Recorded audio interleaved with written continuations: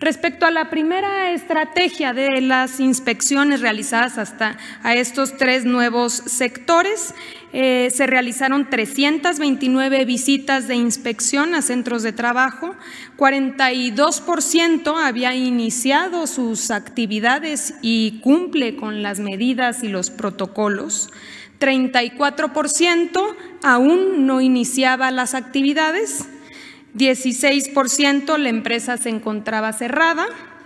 Eh, una empresa, que es el punto 30%, no permitió el desahogo de la inspección. 1.8% inició actividades, pero no cumple con las medidas y los protocolos y en el caso del 5% no eh, se encontró a la empresa en el domicilio proporcionado. En el caso del no quienes no permitieron el desahogo de la inspección, así como aquellas que no cumplían con las medidas, se dio conocimiento también a la autoridad sanitaria a COFEPRIS. Adelante.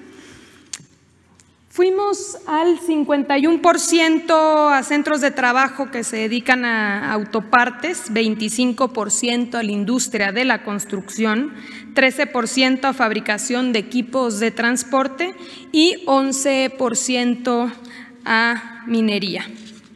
Adelante, sobre todo las principales entidades federativas fue Querétaro, Jalisco, Coahuila, Guanajuato, San Luis Potosí y Sonora. Aquí tenemos el número de inspecciones relacionadas, digo, por cada una de estas entidades federativas.